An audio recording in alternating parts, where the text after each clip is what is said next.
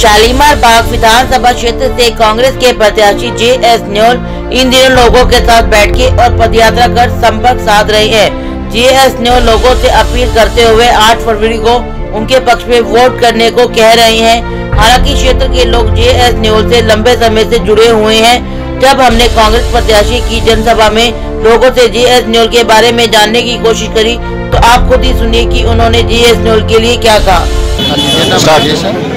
और हम नवल जी के साथ जुड़े हैं काफ़ी टाइम से। बहुत ही समाज का बढ़िया आदमी है ये। उन्होंने अपनी में बहुत कुछ किया है।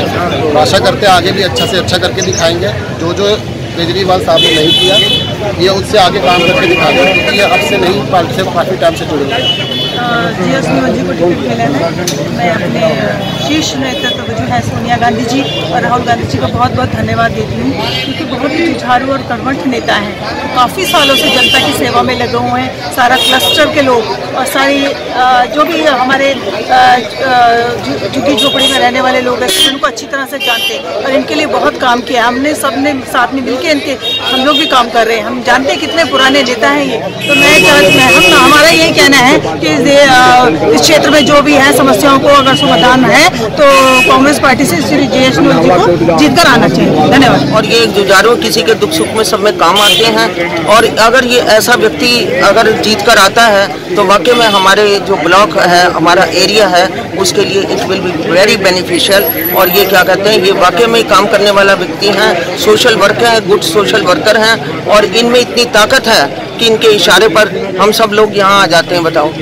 बड़े अच्छे से बात करते हैं चाहे छोटा हो चाहे बड़ा हो। क्योंकि मैं जब इनसे फ़र्स्ट टाइम मिली ना तो मैं इनको नहीं जानती थी बिल्कुल भी। लेकिन इन्होंने बिल्कुल नहीं जताया कि मेरे को जानते नहीं। और जो काम मैंने इनसे बोला जबकि ये थे भी नहीं उस टाइम पे किसी भी पद पे इन्होंने वो काम करके दिया। क्षेत्र की लगभग पंद्रह साल से जानता हूँ। और अच्छे वर्कर हैं ईमानदारी से काम करते हैं कोई जाता है उसकी सुनते हैं। इसलिए कांग्रेस ने इस बार इनको यहाँ का कार्यभार संभाला है।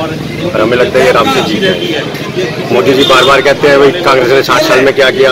हम मोदी जी से पूछना चाह रहे हैं जब देश आज़ाद हुआ, हमारे देश में था क्या? साइकिल आई स्कूटर आई कार लाई, ये कौन लाया? ये मोदी छः साल में तो नहीं लेके आए। कंप्यूटर लेके आए, राजीव गांधी जी लाए, आपके हाथ में आज जो बच्चा बच्चा मोबाइल लेके चल रहा है, ये राजीव जी की देन है। ये कह रहे हैं, साठ साल में कराए कुछ नहीं। देश को कहाँ से कहाँ लेके? अब छः साल में जो बर्बादी आ रही है, देश को तोड़ने का काम कर रहे हैं। जात पात में इस देश को बांटने का काम पे लगे हुए हैं।